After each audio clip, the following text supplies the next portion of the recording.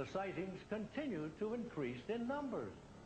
Some experts believe that this is the world's best UFO film. It was taken by Matt Lane Rutherford in Silver Springs, Maryland. Mr. Rutherford took footage after twilight as the disc hovered over his backyard. Scientists examined the footage and concluded the craft appeared to be maneuvering in its own gravitational field.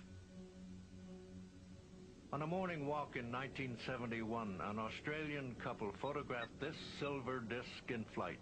In 1977, a Boy Scout in Indiana took this picture of a metallic craft as it circled his house.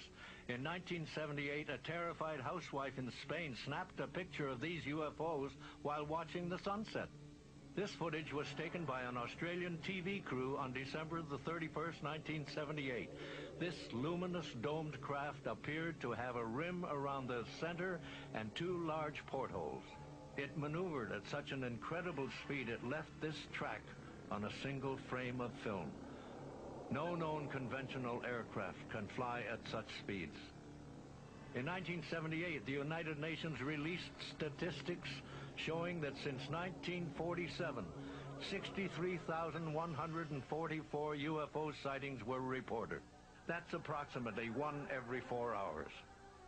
Even President Jimmy Carter had his own alien encounter. While governor of Georgia, he filed this seven-page UFO report stating he spotted a glowing object hovering for 12 minutes in the skies over Georgia. The report was personally signed by Carter himself.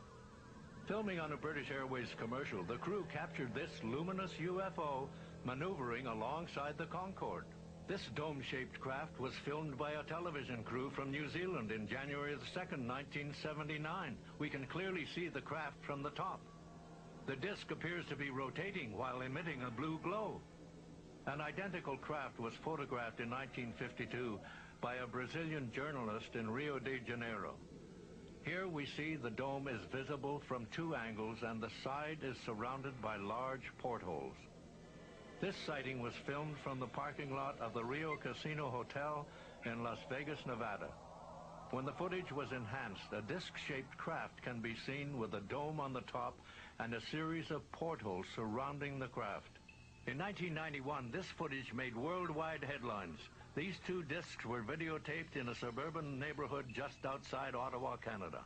Both UFOs landed in what appears to be a prearranged site. This footage became known as the Guardian sighting.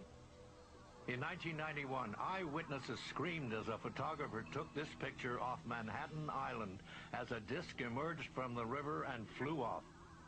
This craft was photographed rising out of the water in Australia as it docked with a smaller dark object. This UFO was spotted in Denver, Colorado as witnesses watched from a neighbor's backyard.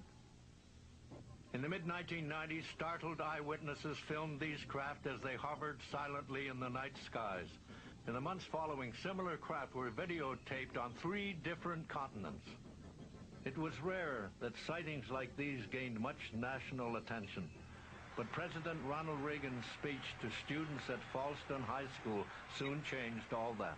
Suddenly there was a threat to this world from some other species from another planet uh, outside in the universe.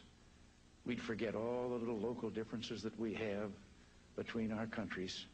Two years later, President Reagan made international headlines when he repeated the alien theme to the General Assembly of the United Nations.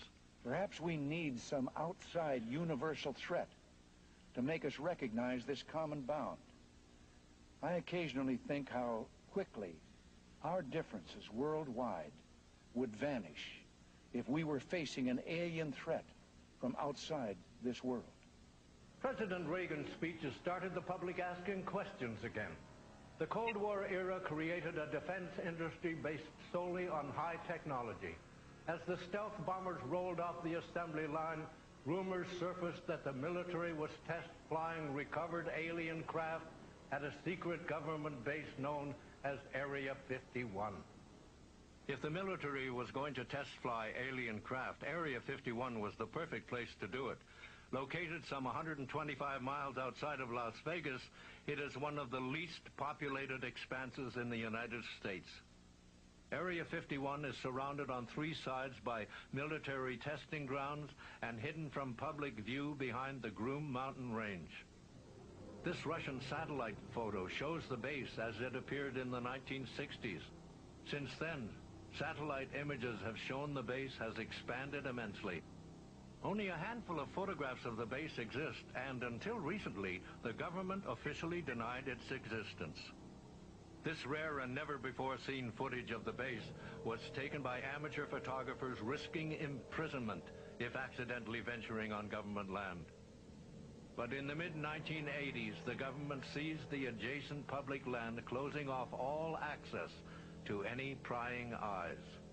Sophisticated detection equipment monitors the public BLM land surrounding the base, and private security forces patrol to deter any unwanted lookers.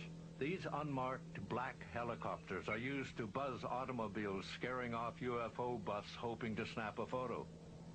But it's photographs like these taken over the Groom Mountain range that seemingly confirm the rumors. Very little actual footage exists of the reported test flights. This amateur videotape shows what eyewitnesses saw hover over the base for several minutes before landing. Area 51 has been called the best-known secret military base in America. The rumors subsided, and in 1996, the state of Nevada renamed the highway which runs parallel to the base. In a massive dedication ceremony open to the press, thousands watched as the governor of Nevada unveiled road signs proclaiming Highway 375 as the extraterrestrial highway.